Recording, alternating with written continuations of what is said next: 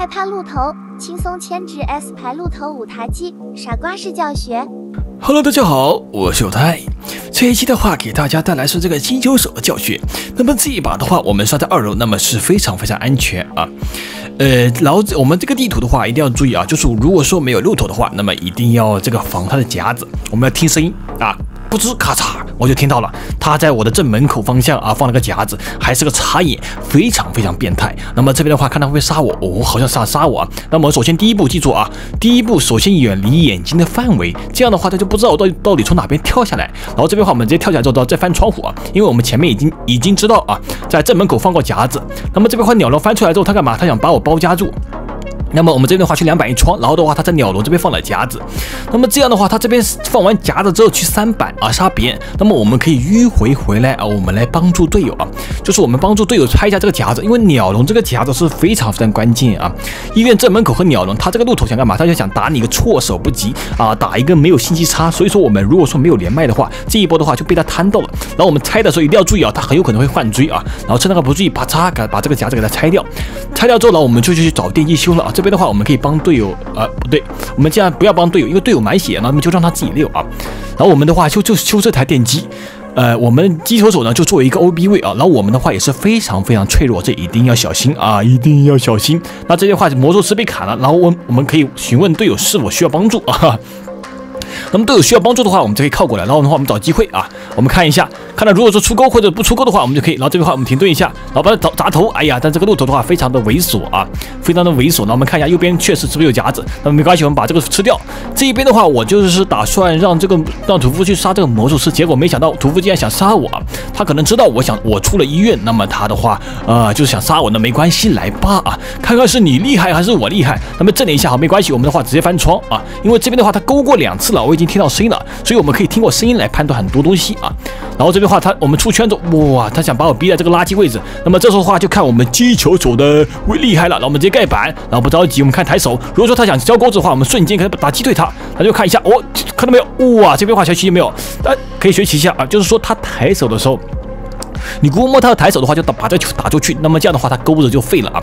这一波的话打的就是个心理战啊！如果让我发现你在搞破坏啊，那么你的运气就会变得特别衰。哎，攻击啊！那这句话骗我哦，这边的话他想骗我，那没关系，我们看情况。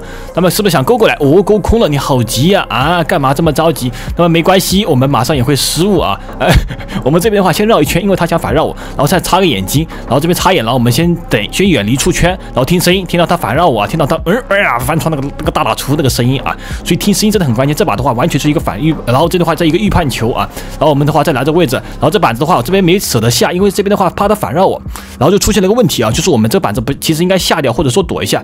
那么这边的话我们被骗红光了，看到没有？我们这边话仔细走然后的话被骗红光，哇，一个球打空，哇，瞬间被干掉啊，死相是非常非常惨啊。然后这边的话我们上椅的电机就已经够了啊。我们这白滴血的话溜了是非常非常久，那么这边话屠夫想把它挂在这个木屋，然后看到没有，这个挣扎进度条就说明什么？说明屠夫的话是带巨钱啊，就是说带这个挣扎进度减少，所以说屠夫的话很容易就想挂地下室。好在这一把的话，哎，木的板子盖下来了啊，这是不幸中的万幸啊。那不过无所谓，电器已经马上要好了，然后等队友来救一波，快来，然后这边的话可以配合一波啊，这队友的话可以配合一波。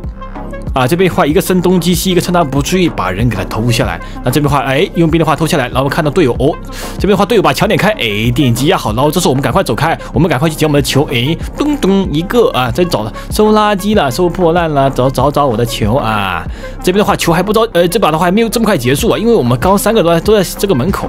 那么这边的话佣兵直接被砍死，哦，那这边的话是非常非常伤的。然后我们赶快往大门走，我们这边的话不着急啊，有让队友点门啊，这个局还没有这么快结束，我们停顿一下试试。啊，看能不能啊牵制一下，看这鹿头干什么？鹿头想来大门，好，没关系，看到什么抬抬不来钩子，哦，抬钩子勾墙，好，没关系，看抬手再来一次，哦，学习没有？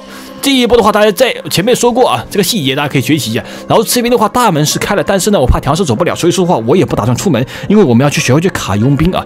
就如果说人都走过了，那么就完蛋了，那么就看这个调试能不能撑啊。调试能撑的话，我们捡个球，我们先不管，我们先这个先自保啊。然后的话，看他们帮助一下调试，帮助四跑。那这边的话，我们反正就等观静观其变啊。那他死掉了，死掉之后呢，我们赶快撤退啊，因为他有可能会杀我，因为他这时候的话钩子还在这个还在可以使用中。那么赶快拉走，赶快这次拉走啊，和调试技术技术拉走。